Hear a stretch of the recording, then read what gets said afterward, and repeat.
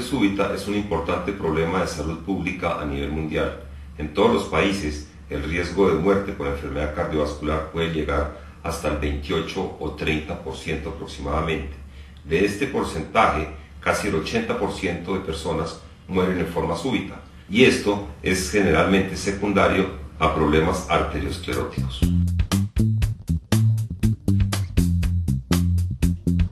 Se denomina muerte súbita a un episodio en el cual la persona afectada pierde el pulso, la respiración, la conciencia de una forma repentina, inesperada y originada por una causa natural, es decir, sin que participen mecanismos violentos como homicidio, suicidio, intoxicación o trauma, y del cual solo podría recuperarse si se efectúan maniobras médicas adecuadas.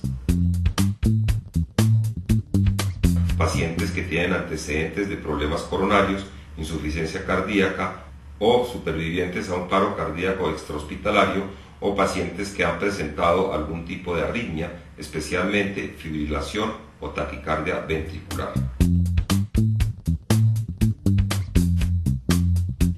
Es muy importante la prevención, hay que cambiar el estilo de vida y lógicamente esto nos lleva a una disminución en el riesgo de muerte súbita.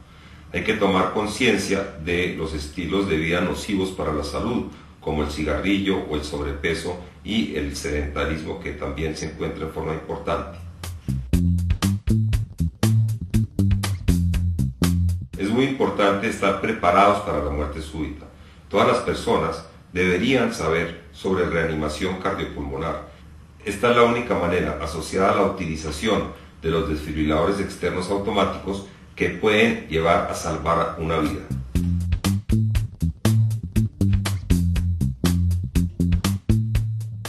Por cada minuto que pasa cuando una persona muere súbitamente, se calcula que se pierde un 10% la posibilidad de sobrevivir al paro cardíaco.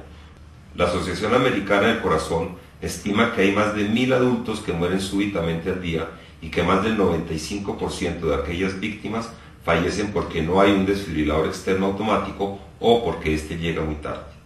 Siendo la muerte súbita un problema de salud pública que mata más gente que el cáncer de próstata, de seno o de útero, ¿por qué no se hace algo para tratar de mejorar esta situación?